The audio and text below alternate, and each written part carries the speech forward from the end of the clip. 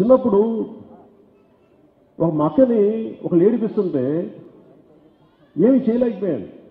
నేను ఇంట్లో ఉన్నాను. నాకు కోపం ఎక్కడ వచ్చిందంటే ఫస్ట్ నేను ఇంత హైట్ ఉన్నాను ఐదో తరగతి ఐదో తరగతి అనుకుంటా. ఫస్ట్ నేను ఎదగనందుకు నా మీద కోపం వచ్చింది. ఏమి చేయలేకపోయానే మా అక్క ఏడుపు మా అక్క కన్నీళ్ళు తుడవలేకపోయిన ఏడుపు వచ్చింది. నాకు ఇంకా కోపం వచ్చింది. ఇంతమంది జనం ఉన్నారు కదా ఎందుకు ఆ రౌడీ అదని శిక్షించలేకపోయారు? ఆ డౌట్ వచ్చింది. నాకు అనిపించింది ఈ సమాజం ఎలాంటి గొప్ప సమాజం? ఒక భగత్ సింగ్ లాంటి పుట్టిన సమాజం ఇది. భగత్ సింగ్ స్ఫూర్తినిచ్చిన సమాజం. ఈ రాజకీయ వ్యవస్థ ఏం చేస్తుందంటే నేను అర్థం చేసుకునే కొద్దీ భయంతో వెన్నెముక వంగిపోయే మనుషులు సృష్టించింది. ధైర్యం నింపి వెన్నెముకని నిటారుగా నిలబెట్టే వ్యక్తులు లేకపోవటం వల్ల ఈ సమాజంలో అయిపోయిందని నాకు అర్థమైంది ఆ రోజున.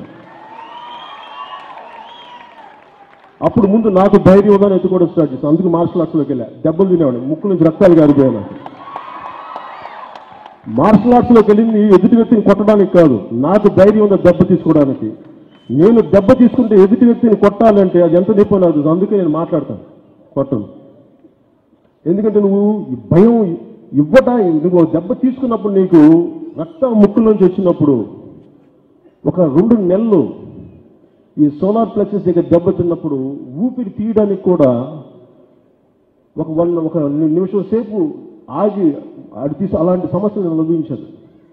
ఇవన్నీ తీసాక నాకు మనిషి శరీరంలో చాలా చాలా గౌరవం ఉంటుంది. అందుకు నేను అందుకు యుద్ధాలకు వెళ్ళను నేను వెళ్ళను. కానీ ఎప్పుడు వాడతాను? యుద్ధం అనేది ఏంటంటే అన్ని సామ దాన భేద అన్నీ అయిపోయినాక అప్పుడు యుద్ధమే చేస్తాం. ఈ లోపల మటుకు అన్నీ వాడతాం.